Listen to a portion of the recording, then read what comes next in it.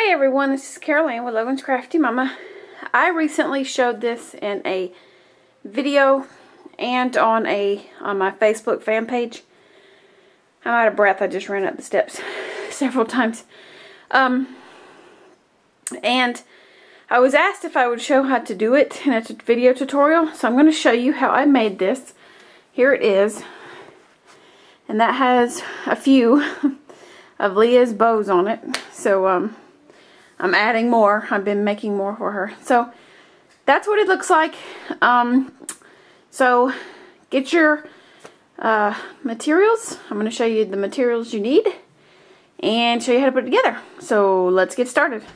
Okay, I'm having to do this with a broken tripod, so I apologize in advance for how this turns out. What you're going to need is um, a piece of foam board or construction, uh, not construction, um, box, cardboard box. If you use cardboard box, I would double it. I just found it easier to use um, foam board. I buy my foam board from Hobby Lobby because I don't want the cheap stuff because um, I am giving these away as gifts. I'm not just keeping them for myself.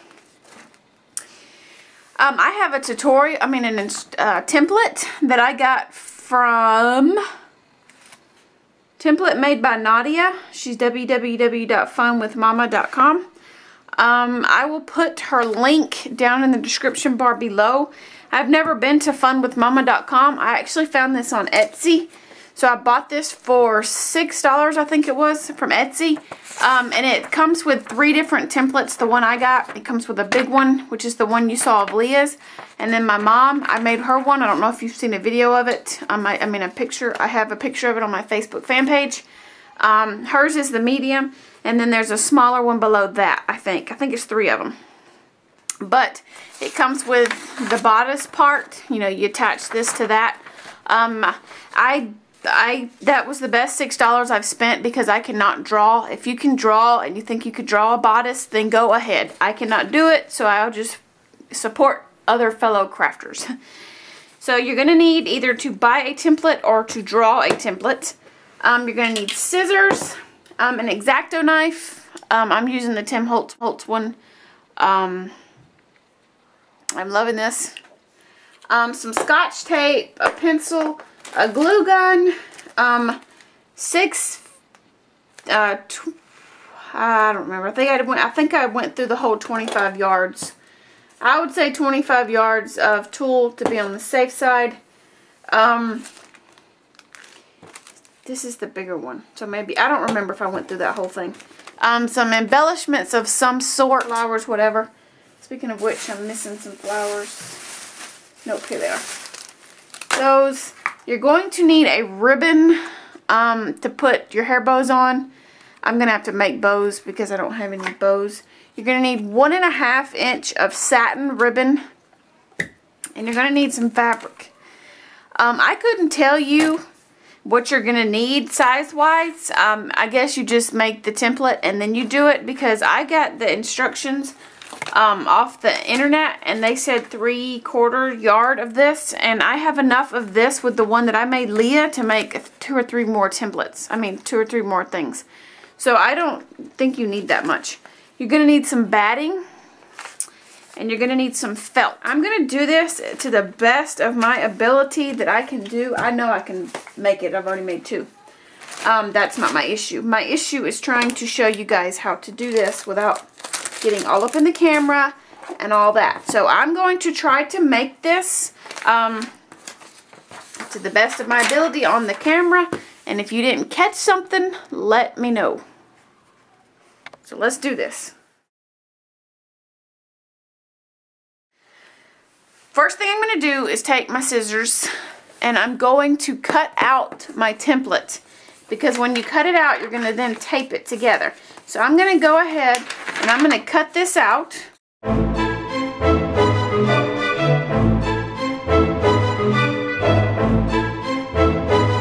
I apologize in advance if this is a two or three hour long video. and then you're going to take your tape and you're going to tape these together.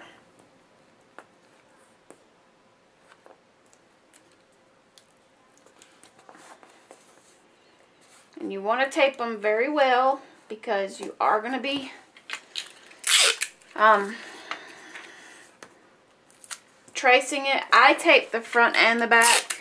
Um, some people say that's just too much tape. Whatever. That's not too much for me. Now, I've already made two, like I said, with this one foam board. So, this is how I do it. Now, this may not be how you want to do it, but this is how I do it. So, let me um, show you. This part right here is the straight part. I cannot cut a straight line for the life of me, not even with a ruler. So what I do is I line it up on the bottom. So I don't even have to cut all that off. I just line it straight up. So all I'll have to cut out is this, that, and this. But if you already cut it out, make sure your piece isn't hanging off because I would hate for you to start cutting and then realize it. So I'm going to tape it right here. So all I have to lose is this piece. So let's go ahead and tape it here. So, like I said, make sure it's flushed with the bottom, which means even. And then just tape it.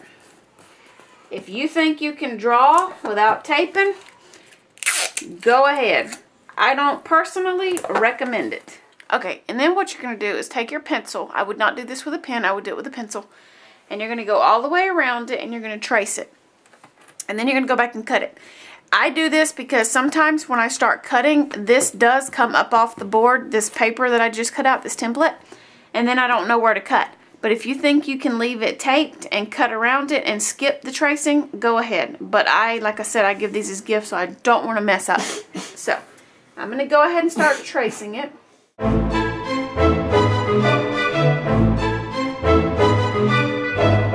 You're going to take your X-Acto knife and you're going to take your X-Acto knife and you're going to go all the way around it.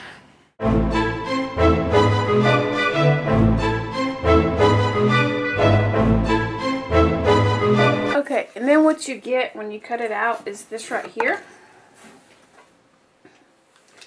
And then you still have this on there, so just pull that off. And then what I'm going to do is you're going to need your batting. Let me get it.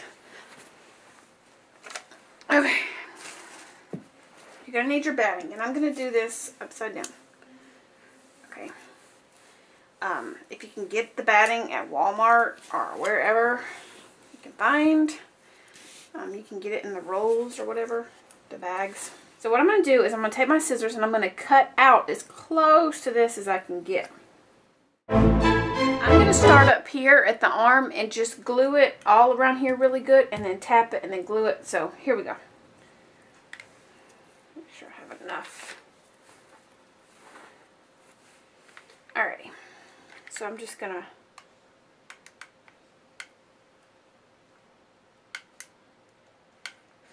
like that and tap it. Make sure it's on really good and it does you know come through. That's okay because you're going to put another layer of batting and then you're going to put fabric on it. So.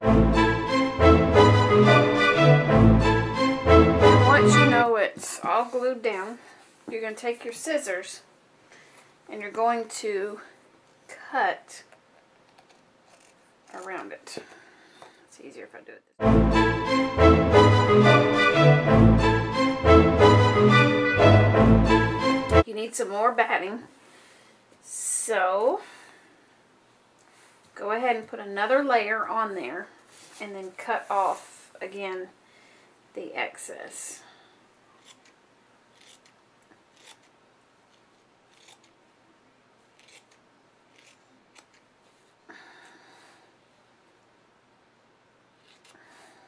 Okay. And then you're going to do the same exact same thing you did before. You're going to start at the top. And this layer, you want to make sure you get it good and glued down because it's got to stick to this batting. So, and then I push. And it does bleed through, but you want to make sure you push it down really well because I've seen people that had this stuff and they didn't push it down really well and when you pulled it up it just fell apart. Okay,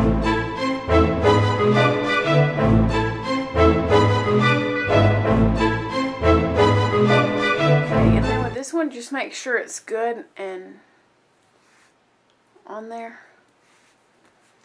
And then do the same thing you did before and cut this out.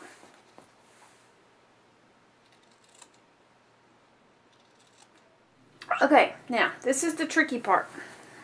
It's not really tricky, it's really easy, but Okay, this is going to be the bodice. This is going to, this right here is going to go over, you know, like that. So this is your top dress part where your, I guess where you'd say your, your cleavage and all that is. Your stomach and your boobs and all that. So, what I do is because my pattern, I like my pattern like this. Um, you need to make sure that your pattern is going the way you want it before you do this part because once you glue this down it's stuck. What I do is I lay my uh, my body so to speak right about here. I want to leave enough room so that you can tuck this it's going to be flipped the other way but I, I go by this way to actually cut the pattern out it's better to have too much than not enough because once you cut it, you can't, you know, you can't do it again unless you want to waste more fabric. So I just cut a lot off.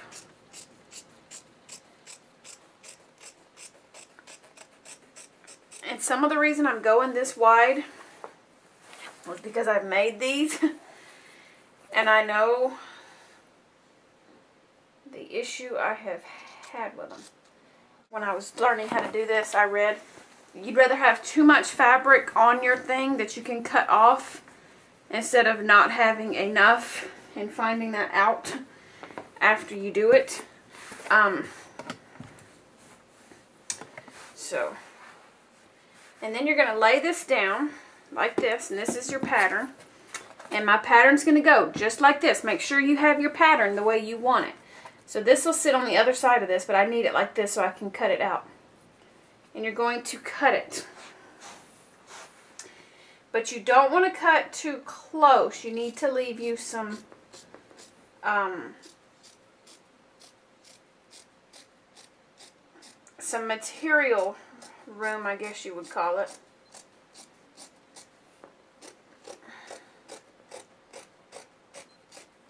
So, and then I keep this because I can use these to make flowers and such with. So this, this isn't going in the garbage like most people do. And then turn it around, but do not mess with your, do not mess with your pattern. Leave it there. And then do the same thing over here. Go right here at the neck. Don't get too close.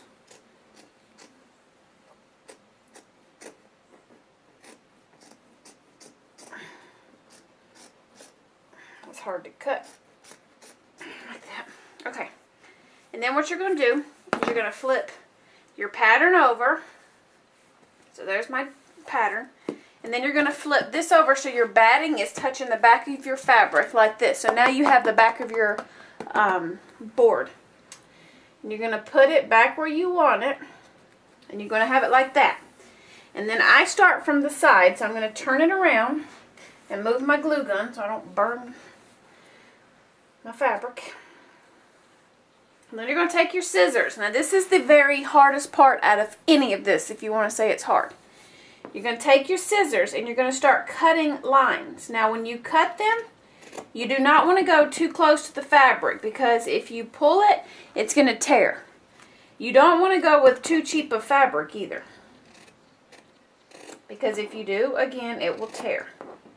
You just want this to be able to go up the back of your dress form. And you don't want to go all the way up in there either. And then what I do is I start in the middle and I pull it tight. I'm going to glue it right here because that's where I want it.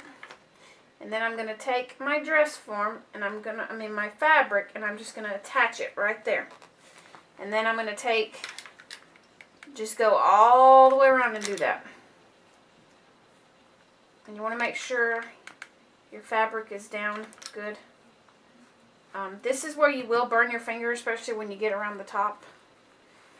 This side, it's not so bad. You do want to make sure you're pulling it tight. Um, and your back will be covered with, um, uh, what is that stuff? Uh, felt, so you don't have to really worry about that. Um, yeah. So I just keep pulling it kind of tight. You don't want to rip your fabric but you want your out your dress to stick. And then go down here and do the same thing. Don't get in a hurry. You don't have to be in a hurry till you get around the neck. And then you do.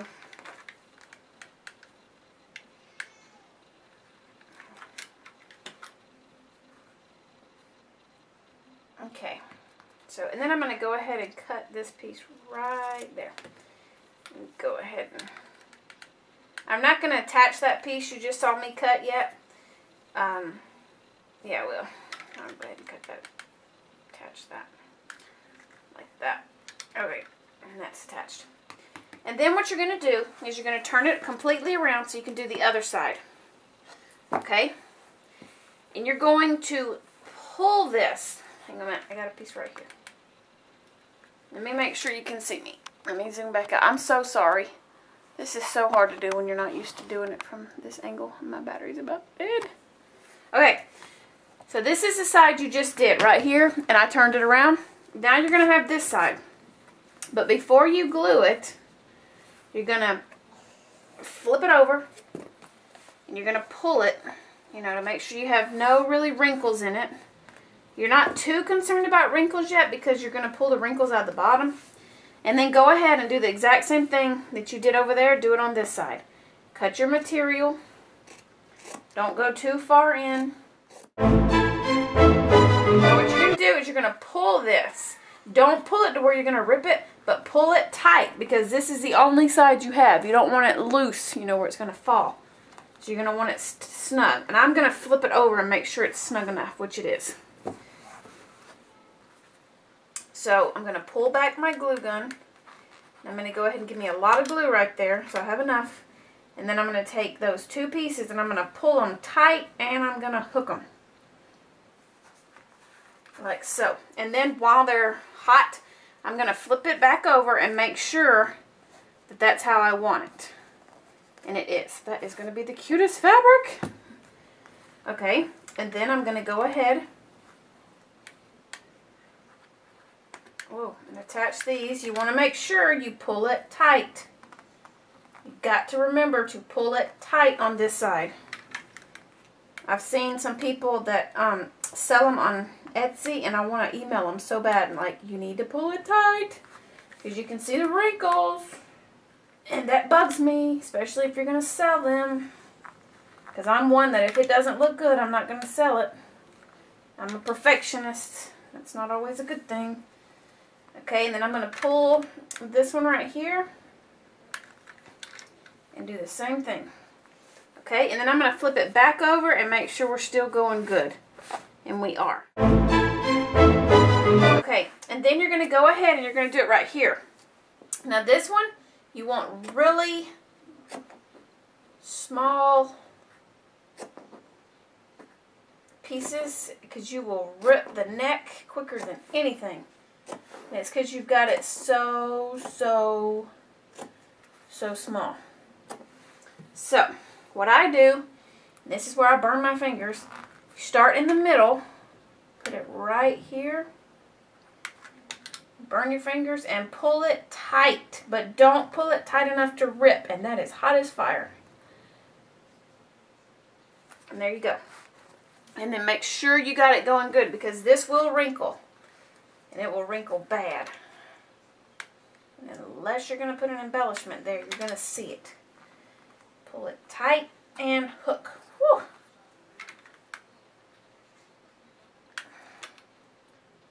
Tight and hook. My fingers are almost completely burnt off, I think. I think I could probably, I'm not going to, but I could probably steal something and you, you wouldn't know I stole it because I don't have any fingerprints.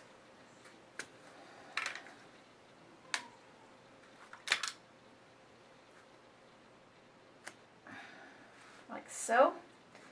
And then this you're actually going to connect in so you don't really have to worry about this right here. Yet. Okay, now I'm going to go ahead and finish this and my battery's about dead. Okay, and then now's the part where you're going to put these and all you're going to do is I take it and make sure that I have it glued down, you know, up here at the top. And then I take this part and I fold it over. So I actually put glue in there. And I fold it over to where it's really pretty. like that. And then tightly I pull it up so it looks like that in the back. Really nice. So you do that and then you just glue the life out of the back of this fabric. But leave you room to actually grab onto. If you have to and you have a lot of excess, you can actually go in and cut that off like that. And that one kind of bent up on me. Normally, when I do this, you guys know when you don't, if you make tutorials, when you're making something, the video does not do how you want it to do. and then I'm going to do the same thing over here. I'm going to go ahead and attach this piece of ribbon down here. So you know it's good and attached. Then I'm going to bend this over. So again, glue dot, close. Put glue all up in here take your fabric, bend it over, and then you're going to take it, if you don't glue it to the table, I'm going to go ahead and cut the excess off that I don't really need, like that. And then I'm going to pull it tightly, and I'm going to glue the mess out of it again. And my glue gun just run out of glue. And my battery is to five minutes. Five seconds. Five minutes. So by the time I go downstairs to get my dead gum charger, let me go ahead and finish. I'm going to go ahead and finish this area right here up. And I will get my charger and come back and show you how to do the bottom. Now the bottom, you don't have to cut because you're just going to take the bottom and fold it up. So I'm going to make sure I have, I'm good and attached here with glue. Make sure all of them I'm up. And then you're going to take this, you're going to go straight up with it. But you want to make sure that you turn it over. And if you have any wrinkles, pull them down and tight like that. So I got rid of all my wrinkles And, I and then I'm just going to glue the you know what out of the back of this dress. And like I told you before, if you put too much glue, it's not going to hurt anything. Pull that dress as tight as you can get it. And I got all the wrinkles out. Okay. And then go ahead and make sure that you have enough glue to cover it, you know, up here. Like that. And then you're going to take the sides and you're going to pull them in just like you did the top. So I'm going to go ahead and do that. You guys saw how I did that a minute ago.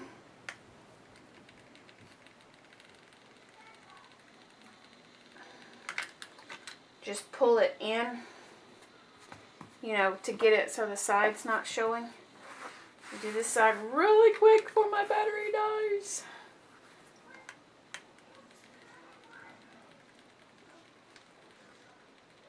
Like so. Attach it like so. And make sure you, and now when I go back and I make sure everything is glued down. You're going to put felt over it at the very end but you still don't want anything coming up. So if you don't think you're glued good enough, glue it. And then that is your dress form. I mean, your bodice of your dress. So I'm going to go get my charger and stuff and um, go to bed, but you won't know that. And then, I think I'm going to go to bed. I don't know. Um, I'll come back and I'll show you how to make the um, the tulle part and then we'll connect it and put it together. So that is how you get that. So I hope that was helpful to you guys. Um, if you want to stay for the rest, stay for the rest of the video. It will be a long video. If not, um, thanks for watching.